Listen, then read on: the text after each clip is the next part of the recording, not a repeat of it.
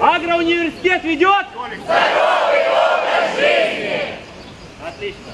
Є, ровно, Руслан, ти ж на И поехали. Легкая зарядка. Начинаем с головы. Круговые вращения.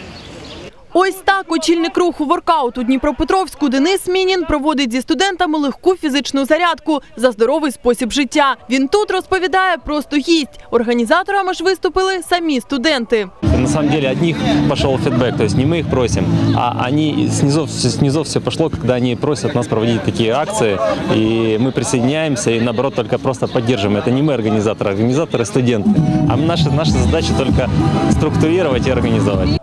Такий спосіб вихованці Дніпропетровського державного аграрно-економічного університету вирішили підтримати акцію Пліч опліч, що триває упродовж місяця всією Україною. Нам цю естафету передали Черкаси. Дніпропетровську свою чергу кидає виклик аж до Львова.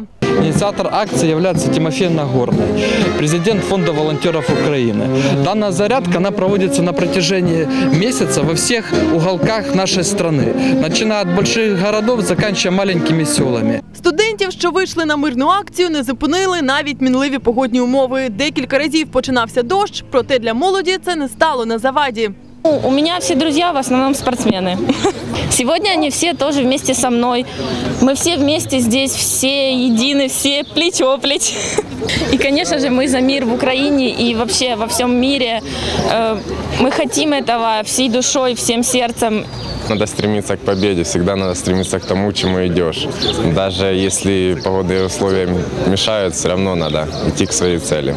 Такий загартований характер ознака справжніх спортсменів. Ці дівчата і хлопці виявилось спортивна гордість університету. Значит, э, это у нас э, сборная команда по футболу, которая принимает участие в соревнованиях на первенство города среди коллективов физкультуры. Кстати, единственная студенческая команда, которая участвует в чемпионате города.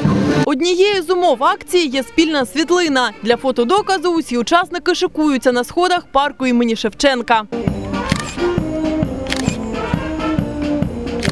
Анна Єлизавета Мельниченко, Дмитро Большак. Новини 9 каналу.